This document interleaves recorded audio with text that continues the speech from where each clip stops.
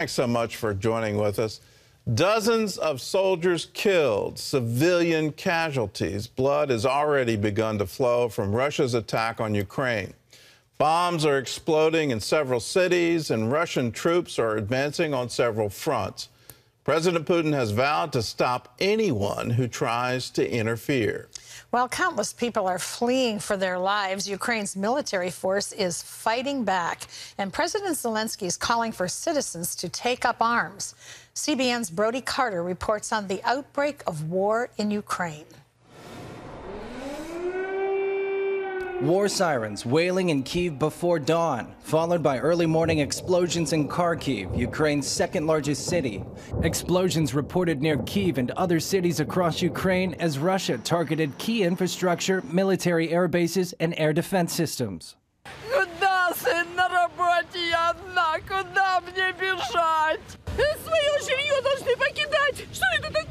The bombing sent Ukrainians scrambling for safety. These scenes were from the port city of Mariupol. People lining up at ATMs and packing up their cars. In Kiev, the capital, traffic backing up as far as the eye can see. Overnight, President Putin announced the beginning of Russian military operations in Ukraine, disguising his full-scale invasion as a mission to support Russian rebels in the Donbass region of Luhansk and Donetsk, land he claims belongs to Russia now a doorway for Russian troops into Ukrainian territory. It won't be bloodless. Uh, there will be suffering, there will be sacrifice. Ukraine's foreign ministry says they've landed in the southern port of Odessa, crossing into Kharkiv. This security footage shows Russian military crossing into Ukraine from Crimea, the peninsula seized by Russia in 2014. Ukrainian forces are fighting back in Donbass, as well as regions in the north and south. Dozens of soldiers reported dead so far, as well as civilian casualties. President Zelensky calling on Ukrainians to rise up and fight the invaders in the cities and town squares, encouraging citizens to take up arms. The country's UN ambassador delivering this message to Russia at last night's Security Council meeting. There is no purgatory for war criminals. They go straight to hell ambassador. Meanwhile, the world community is responding with promise of sanctions, but no military aid. We are banding together in strong terms to condemn these outrageous acts in the strongest possible terms. President Biden issuing a statement last night saying, quote, Russia alone is responsible for the death and destruction this attack will bring, and the United States and its allies and partners will respond in a united and decisive way. The world will hold Russia accountable. The president is expected to address the nation at noon today and announce crippling economic sanctions against Russia. The White House has been very clear it will not send troops into Ukraine, even to rescue Americans. However, U.S. troops are on the border with Poland and ready to help those fleeing from Ukraine. Brody Carter, CBN News. Well, George Thomas joins us now from Ukraine. So, George, tell us what's going on there. Thousands are fleeing the invasion. They're they're heading your direction. How are you preparing, and how's the city preparing for the humanitarian crisis? Yeah, I, I, woke up early this morning as soon as I heard that Russia had invaded and uh, pretty much went to the streets and people were, there were long lines, Gordon, at the banks, at pharmacies, uh, at grocery stores.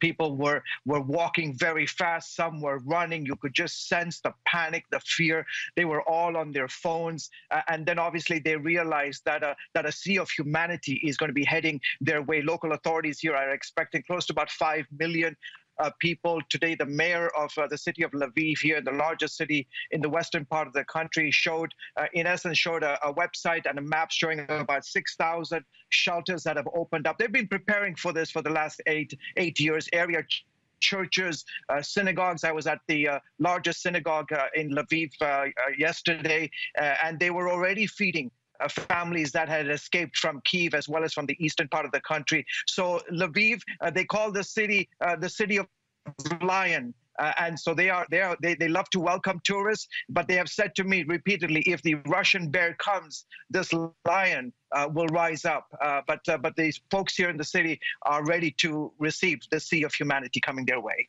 how much territory do you think russia is trying to take right now Yeah, uh, if you look at a map of uh, Ukraine, remember, uh, Gordon, you know this, Ukraine is the largest city in Europe uh, outside of, of Russia. But if you look at a map of Ukraine, Ukraine. You have the Dnieper River, which is uh, Europe's fourth largest river, that basically cuts the uh, country in half, right? It uh, flows from north to south all the way to the Black Sea.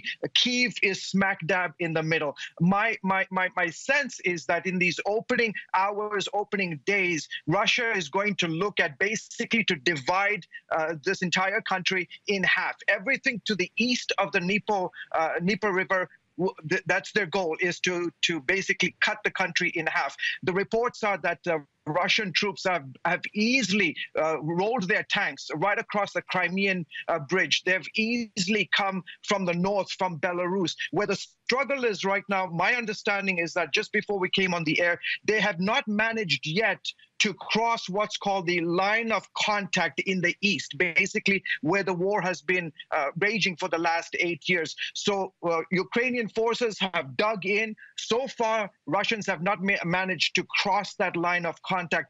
But the picture you have here, Gordon, is is sort of a choke point, and the Ukrainians are in essence, you know, surrounded on all sides. Well, Russia is now claiming that they've completely destroyed the Ukrainian air defenses. Uh, so, what do you think the Ukrainians want to see from NATO?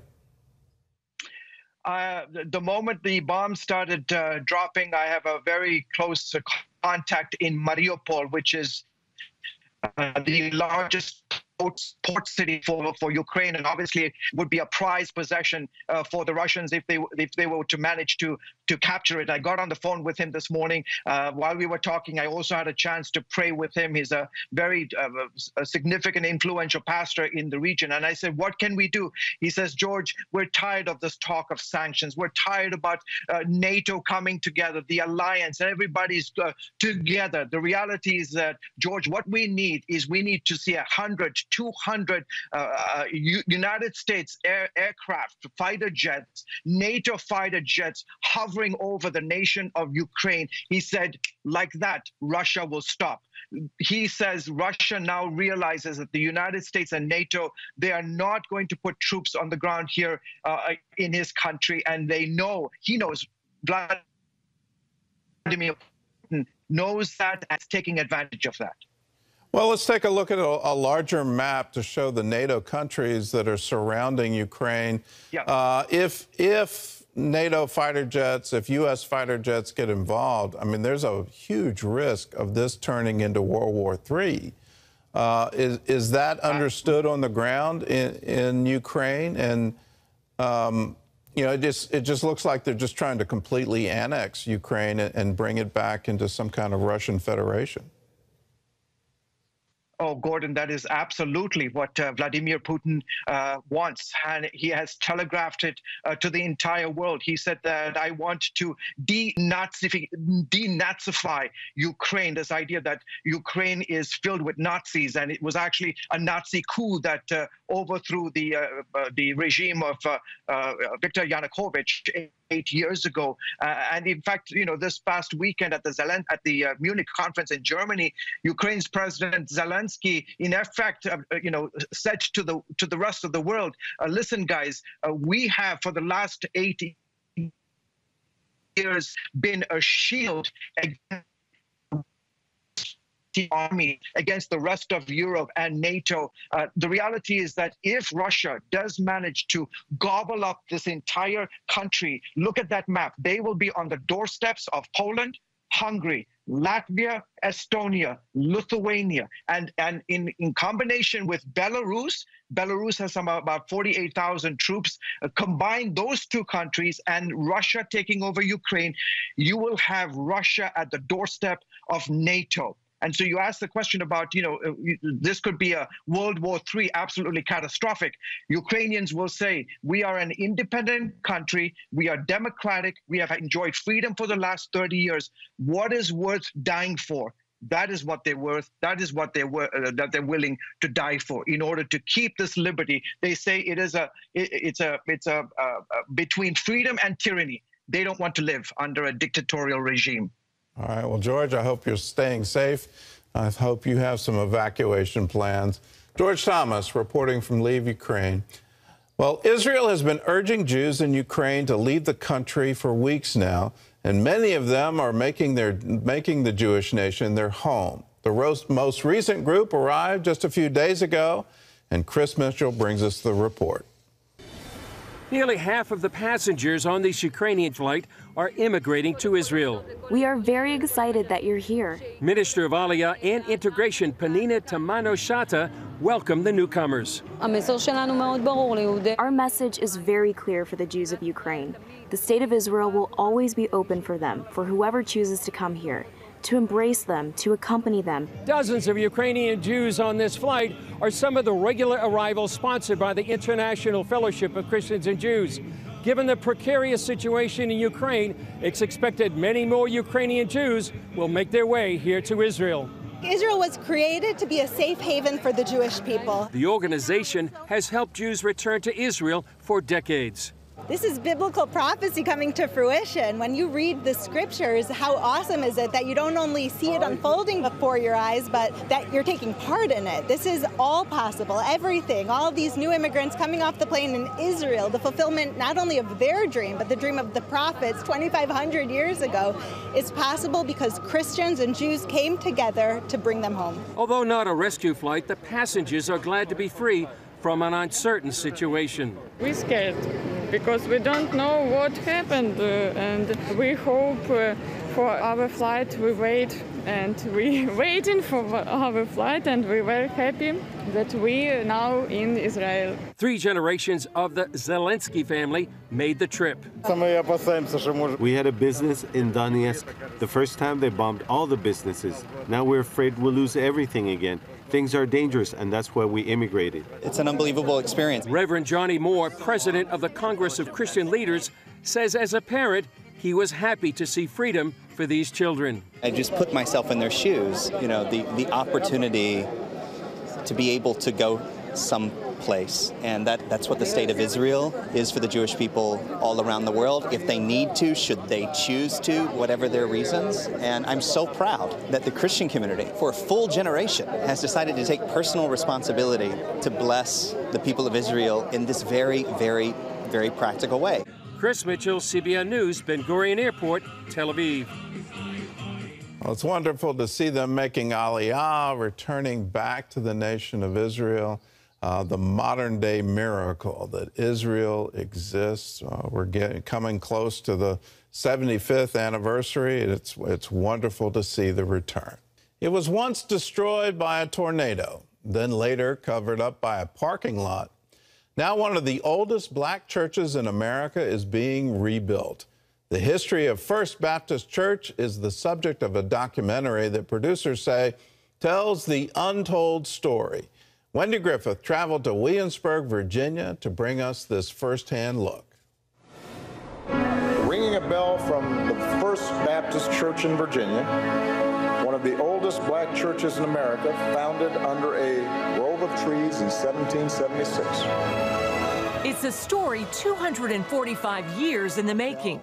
The story of black Americans, free and slaves, gathering in secret to pray and worship together. It was a time when they weren't supposed to, to be worshiping together. That was a big risk, and they took that risk to fulfill their faith.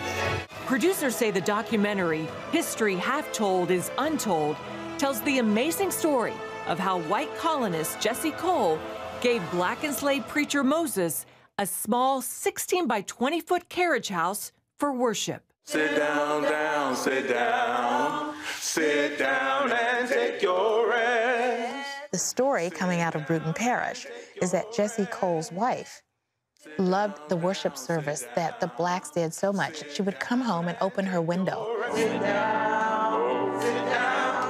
and enjoy the songs and the, and the service. And the good thing about this is we found the descendants of that family, and the story is the same. So the parallel history integrates. And that's what we're trying to do with this film. After a tornado destroyed it, a second church built on the site in 1856 stood for 100 years. The rich history of First Baptist, however, was literally covered up when the city put a parking lot over the land and paid for a new church building a few blocks away. Thanks to efforts by Colonial Williamsburg and the Let Freedom Ring Foundation, archaeologists began uncovering the history. And Harshaw says that is bringing healing. You have some descendants right now that are still living that saw this process, this church at 1856 structure being knocked down and covered up with an asphalt parking lot. They're now getting to ride by and see it being uncovered. And that's helping bring the community, black and white, together. I want people to feel that healing can happen, that togetherness, it can happen. All of the things that we thought could not happen, all we have to do is come together and recognize each other's humanity and that we all serve the same God.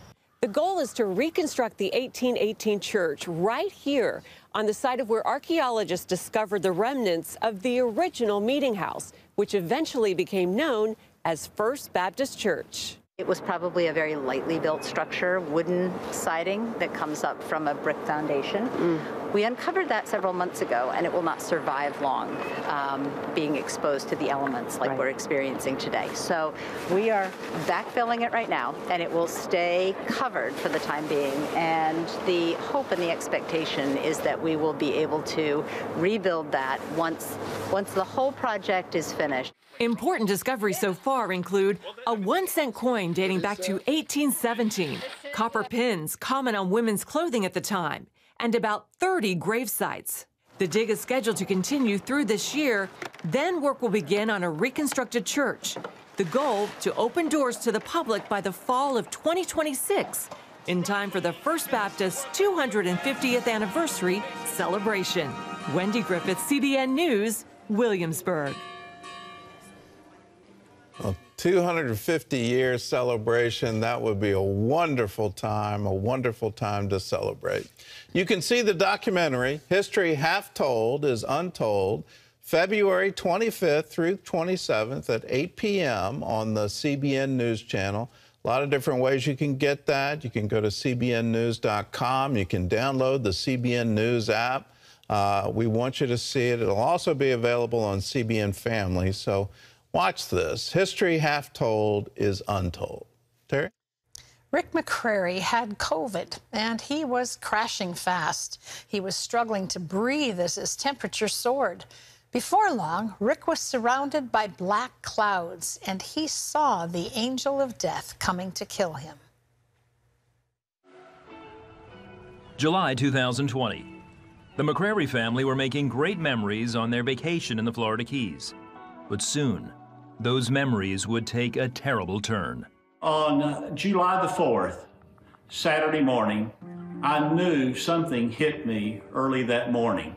Uh, I was nauseated, it hit me in the stomach, and it was like turning a light switch on. 71 year old Rick McCrary, husband, father, and grandfather, had contracted COVID 19. Within a week of coming home, Kay, his wife of 52 years, was dropping him off at the Baylor Hospital emergency room in Dallas, Texas. And I tried to be strong, but I didn't really know if I would ever see him again. We held hands, we hugged, and uh, we said our goodbyes, and I'll never forget the feeling of leaving my sweetheart in the parking lot. By then, Rick had developed double pneumonia and sepsis. To make matters worse, Rick was pre diabetic, had a pacemaker, and had gone through numerous heart surgeries and prostate cancer. His odds of surviving were very slim. Meanwhile, Kay and their daughter Christy had also tested positive for COVID. Although neither were hospitalized, their symptoms were brutal. The aches and the pains were literally unbearable, and I didn't think I could stand it. Despite her pain, Kay still managed to pray for Rick. I remember saying a scripture Rick will live, not die, and declare the glory of the Lord. I mean, screaming it. Christy also reached out to a handful of friends to pray. All I could do was lift my head up and try to make text messages that would bullet point our prayer requests. I was so sick. That's all I could handle. Next thing I know, a day or two has gone by, and hundreds of people across the country are getting these prayer texts. Still in the ER, Rick was declining. His oxygen levels plummeted, and the sepsis was spreading. Doctors put him on oxygen and strong medications, and they worked at first. I had stabilized those first two days, and then I had a crash. My body rejected the medicines, my temperature went up, my breathing became to where I couldn't breathe. Doctors moved Rick to the ICU and managed to get him stabilized again. That night, Rick said he had a terrifying encounter. I could see pitch dark black skies, and then I would see what looked like lightning, but it lit up the whole sky. And in the background, when it was lit up, I could see a skeleton, and it was the death angel that had come for me. At exactly 3:18 that morning, a woman who had been praying for Rick said she heard from God. God said, Wake up now. Rick is in trouble. Go pray. She wasn't the only one. Another lady that's not connected had woken up at 3:18 in the morning. God said, "Go get in your prayer chair. Someone can't breathe." And then I could see people pointing their fingers, shaking their fists, violently praying that you're not going to take this life, that Rick is going to live and Rick is not going to die. Rick woke up that morning, determined to fight. I said, The devil, you're not going to win. You do not have my number. In the coming week, Rick's lungs began to clear. But now his sugar levels were spiking and he was still fighting sepsis, causing his white blood cell counts to rise to dangerously high levels. Weak and isolated with only brief visits from nurses, Rick's only contact with family was through FaceTime. And I thought, what am I going to do? My rock is leaving right before my eyes. Meanwhile, Kay, at home under a nurse's care, had become so ill she couldn't even pray for her husband. And I thought, am I going to lose my father? And now I'm going to lose my mother. But through prayer, Christy and others around the country continued to fight. Gradually, all three of them improved. On day 12 of Rick's hospital stay, a doctor came into his room. Rick was being released. It was a joyous day. It was a fun day. They brought me home in a COVID approved vehicle. And he walked through the door. We embraced and cried and cried. Many days we thought we would never be able to touch or feel or hold each other again. And uh, to experience that was just something that uh, it's hard to describe. It was glorious because it was life again. God had defeated death. After a couple of months, they had regained their health. Today, they're thankful that the Lord has given them more time to make many more memories. My friends are at awe. We're all in awe because we've seen remarkable things today. Jesus has given us hope. He's the same yesterday, today, and forever. Without prayer warriors that were stronger than I was, I would have never lived through my experience. And I thank God that He's brought up friends of the family that know how to pray.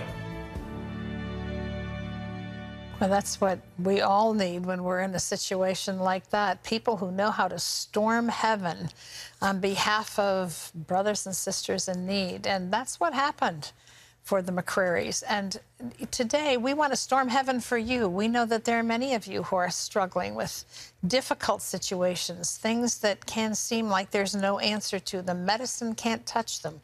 Doctors don't have a good report, but God but God. And so today, we want to take some time to both fill your, fill your faith or build your faith with other reports and then take time to pray for you specifically.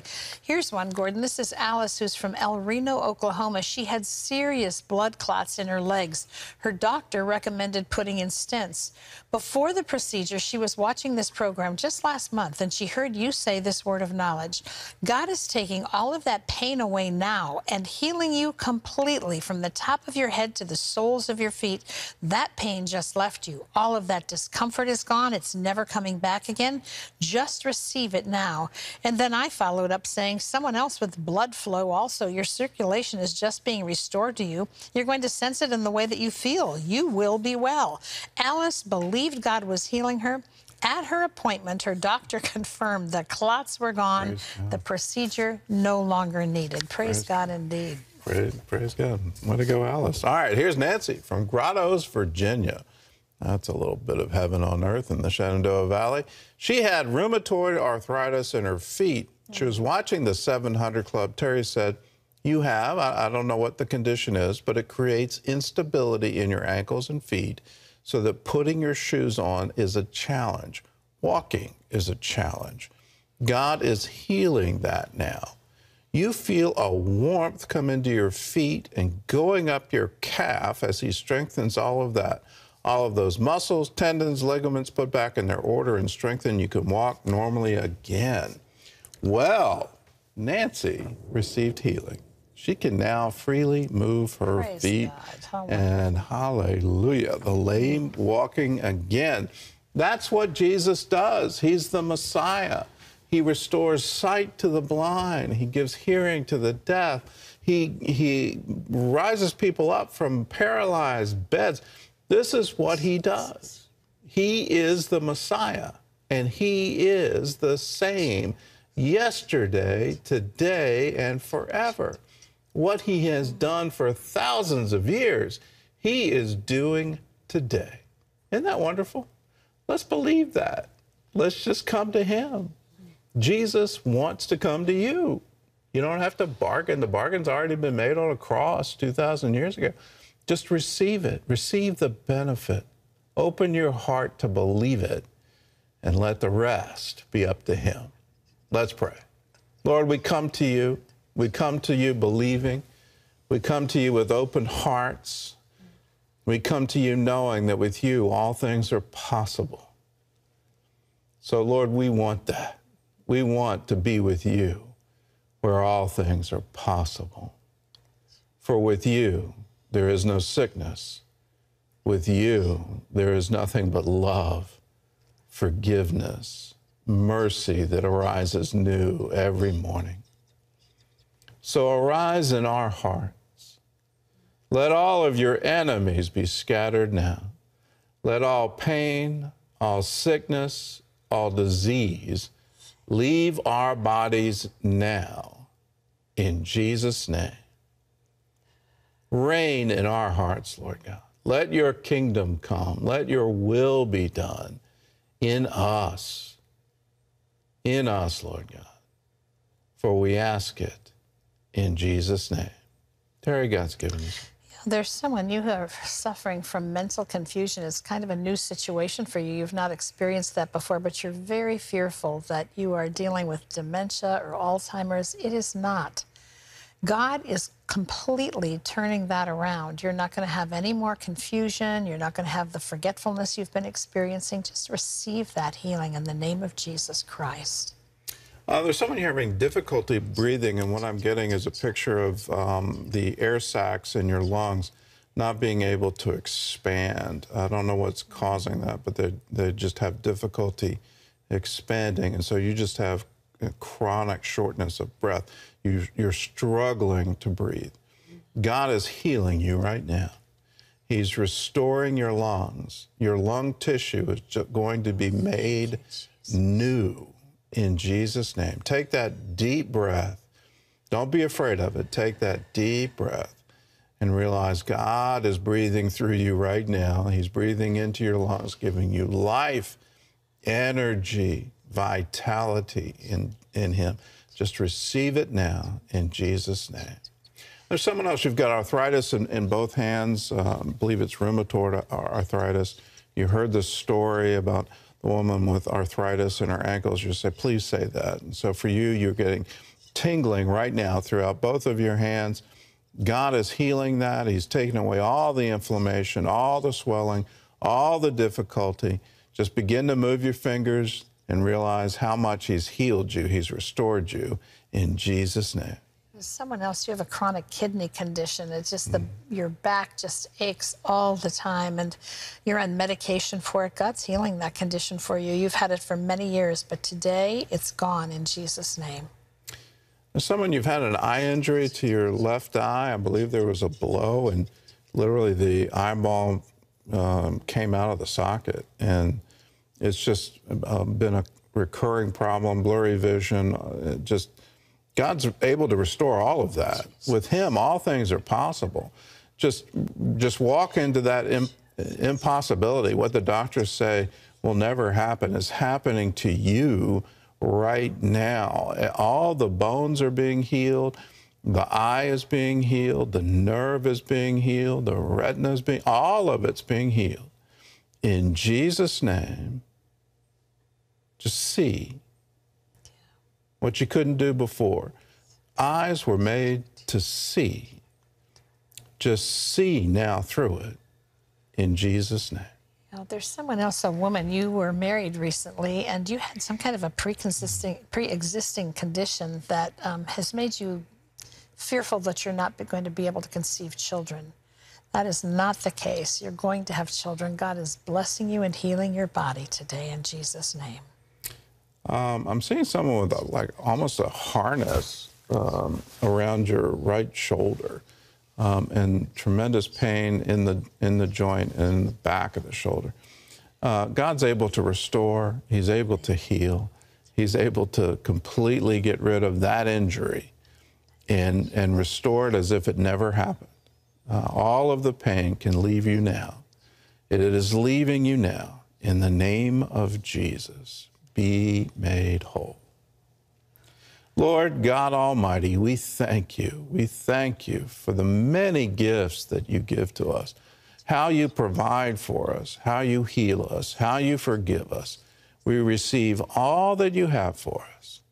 In Jesus' name, amen and amen. If you've been healed, let us know. Let us share in your good report give us a call 1 800 700 7000. And if you need healing, we believe in prevailing prayer. That's the prayer that doesn't give up until you get the answer. So we want to stand with you in prayer. All you have to do is call 1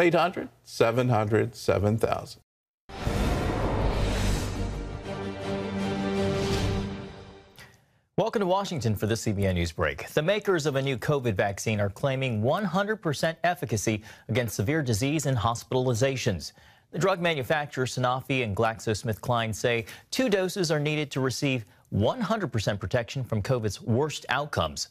The Europe-based pharmaceutical companies also say their new vaccine is 75% effective against moderate to severe disease. Sanofi GSK plans to submit the new shots for authorization in both the United States and Europe. Well, after a brave battle with cancer, people are remembering the life of a Christian singer by the name of Jane Marczewski, who died at the age of 31. Known as Brightbird, Nightbirde, uh, she was a Liberty University student. Not long after she left, Jane developed breast cancer. She was certain she'd beat it, and she did, even releasing a song about it in 2019 called Girl in a Bubble. That's the music video you're seeing right there. The cancer came back, though, and spread. But Jane made it big on America's Got Talent with an audition that's now been viewed by more than 40 million times. Well, you can always get the latest from CBN News by going to our website at cbnnews.com. Hania suffered pain in her abdomen so severe she couldn't stand. When a doctor diagnosed the problem, her family had no way to pay for the operation their little girl needed. And that's when you came to her rescue. Six year old Hania was born with a hernia. Her parents didn't realize how serious it was until it ruptured while she was playing on an old fashioned seesaw at her school. A girl jumped off the other side and she fell hard. When I saw her, I started crying because she was writhing in pain. She could not stand it. For years, her parents wondered why their daughter had suffered with pain in her lower abdomen. They'd been too poor to take her to a doctor. When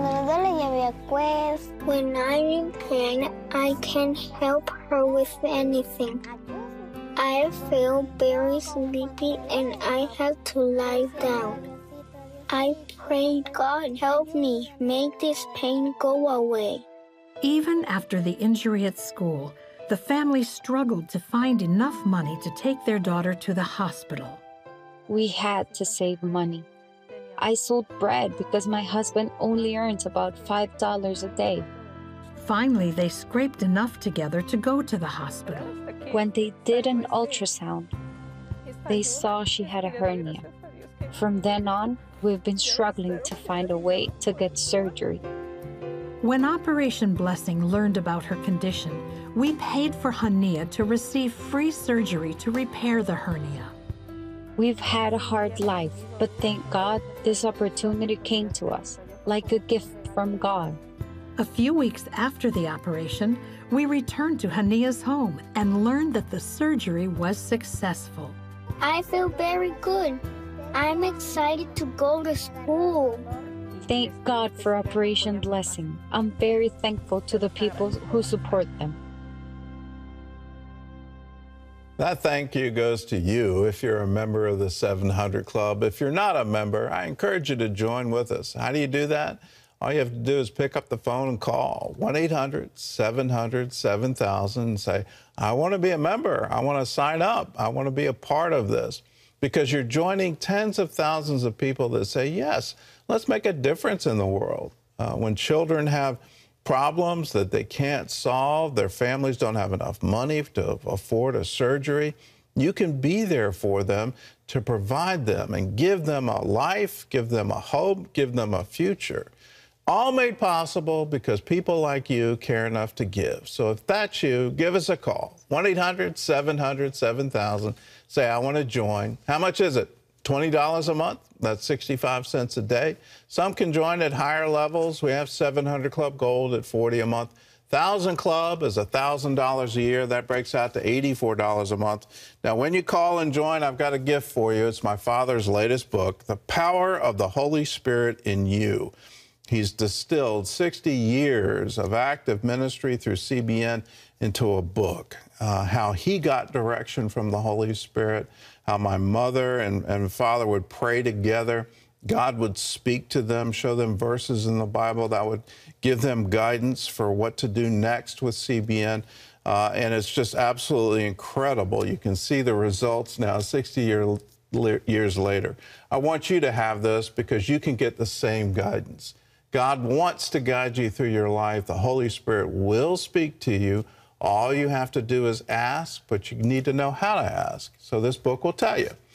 Get, to get it, join with us. 1 800 700 7000. Terry?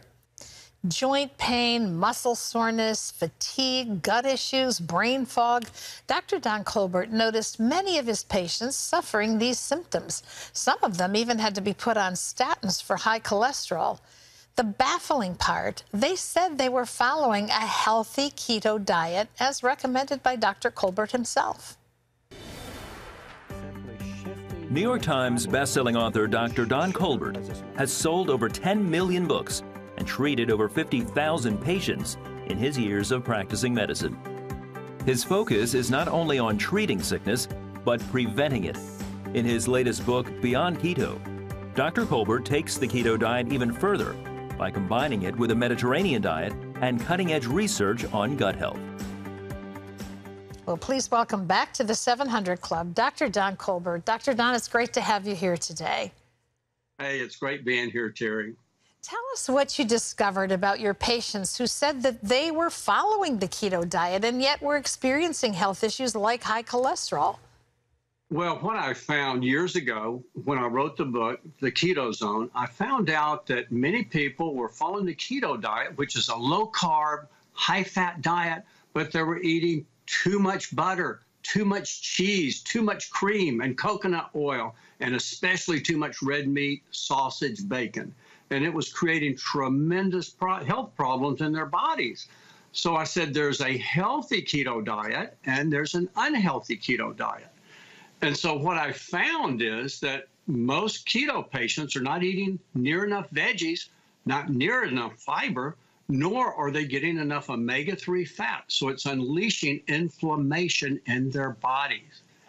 So what I did is I found out that the Mediterranean diet, on the other hand, is the most powerful anti inflammatory diet. But there's an unhealthy Mediterranean diet and a healthy Mediterranean diet. So I took the best of the Mediterranean diet and the best of the keto, healthy keto diet, and merged them together into what I believe is the most healthy dietary lifestyle anyone can follow. Talk a little bit about the trip that you took that actually opened your eyes to this, to, to finding a way to a healthier lifestyle. Well, about five years ago, I took a trip with my wife to Greece, and especially we went to the Isle of Crete. And on the Isle of Crete, uh, my eyes were open. Here I found that these people, even though about 37% of the population smoked, they had very low, a very low incidence of heart disease, cancer, and other degenerative diseases. And it was the foods they were eating, the fats they were eating, the veggies they were eating, the fiber, but especially the olive oil, as well as the fish, as well as the beans and peas and lentils. And this is the Mediterranean diet, which is so important for everyone. So, what does it look like when you mix the keto and the Mediterranean diet? Well, what it looks like is this. First of all, if a person has weight issues or blood sugar problems, they need to start with a healthy keto program. Keto is simply low carbohydrates, a lot of green veggies, a lot of healthy fats like olive oil, avocado oil, nuts, and seeds, as well as healthy proteins. Now, what's so amazing, once you get that fat content high enough, like about usually seven to eight tablespoons of healthy fat a day, the appetite is controlled. And many people only need two meals a day, but it unleashes a process in the body that's one of the most powerful healing processes in the body, which is the process of mild nutritional ketosis, where you burn fat as fuel and it lowers the blood sugar. But then, after the patients achieve their weight and blood sugar control, we make a gradual shift over to a healthy Mediterranean lifestyle with those powerful anti inflammatory veggies. We, we add more beans, peas, lentils, hummus, chickpeas that are pressure cooked so we don't have the gut issues and that has all the fiber as well as those omega 3s, those healthy omega 3 fish, also chicken and turkey and healthy sources of protein, but especially omega 3s. Most Americans are eating farm raised fish. They're inflammatory to the body. They contain pesticides. They contain all kinds of, they're fed usually soybeans. They're also, they contain pesticides and they're usually given a coloring agent that makes them look healthy, but they're not. So again, what I do is I merge the best of the keto, which is low carb, high fat, with the best of the Mediterranean. I start them on a keto diet in order to burn the fat, lower the sugar, and then I uh, transfer them over to a healthy Mediterranean diet so they can follow this program for life. And as a result, we see so many people with chronic health problems start to improve. But I just wanted to add that the McCrary's are patients of mine. I saw your prior clip, love the clip, and we, we help support them in prayer during that whole process. Yeah. And, and they're very diligent in their lifestyle, I know. I, I also know that there are a lot of people who espouse the keto diet, but they really kind of abuse it and make it their own version of that. And yes. that it doesn't work. It just doesn't work. Right. The keto diet, for most people, I'd say 90, 95%, it's an unhealthy keto diet and it's way too much of the wrong fat, way too much saturated fat, not near enough olive oil or avocado oil or nuts, which are so anti inflammatory, and too many fried foods. Fried foods are very inflammatory to the body. And so, what happens 80% of people on keto, they eventually give it up. And what happens, unfortunately, when they give it up, they continue to eat the fats, but they add all the sugars, carbs, and starches so that unleashes even more inflammation, and so many of them have real high cholesterol, and so many develop health problems as a result. So we want them to, if they're going to do keto, do the healthy keto. Burn the belly fat, burn the fat, lower the sugar, unleash the healing processes in the body, but then eventually you become keto adapted and metabolically flexible so you can shift over to the healthy Mediterranean diet. You see, I've written books for 25 years. What would Jesus eat? That's a Mediterranean diet. Let food be your medicine. That's a healthy Mediterranean diet. The keto zone diet, that's a keto diet. But then beyond keto is the best of the keto diet and the best of the Mediterranean diet. I want to say you've done the homework for everybody. It's called Beyond Keto Burn Fat, Heal Your Gut, and Reverse Disease. Who doesn't want to do all of that? It's available wherever books are sold. Beautiful cover as well. Thank you, Dr. Don. It's great to have you with us again. Thank you, Terry. Bless you. Have a good day. Okay, time for an email question. You ready? I'm ready. Okay, this is Haley who says, I am a young mom, and since having my son, I have really had my eyes opened about how precious life is. How do I know God is real? I grew up in a Baptist church, but grew away from the church after high school. I want my son to know the Lord. I've taken him to church, but we don't go very often because of COVID scares. Well, Haley, uh, there's nothing like being a parent to reveal to you the love of a a love of a father, the love of God, the unconditional love. Uh, I know for me, it gave me whole new dimensions of insight into it. You know, to answer the question, how do you know God is real? Well, you can look into your son's eyes and you can know. You can look to the heavens, they declare the glory of the Lord. You can look at life all around you, you know, the, just the, the, the magnitude of what God has done for us, and, and you get the, you get the idea. To grow in your faith, I encourage people read the Bible and, and read it on a regular basis, if, if not daily basis, and just spend time with Him. Ask Him to reveal Himself to you in Scripture. And if you want to bring your son along for the ride, I'll, I'll do a shameless plug. Watch Superbook together. Uh, it's a wonderful app. You can download it from all the app stores uh, and put it on any tablet, any smartphone, any smart TV, and you can watch those episodes together. You'll grow in your faith and you'll have the assurance you're raising your children in the faith of uh, uh, that's been for thousands of years. It's a wonderful thing to do, and the best part, it's free. Isn't that the truth? Where are you going to find that? Well, it's that we don't have time for any more email questions, but we do want to say how much we love hearing from all of you. So send your email. Ah, we'll prompter abandoned us yeah. again. There was plenty of time. you know, we're just getting nervous about time. So we'll just spend more time in Scripture. Here is from John 3. It's a wonderful verse and just it's one of those to memorize where the Apostle John praying for you. I pray that you may prosper in all things and be in health, just as your soul prospers. Realize that when you go all in with God, He goes all in with you. He wants to prosper you, He wants to give you good things, He wants to give you health, He wants to give you security. Rest in it. God bless.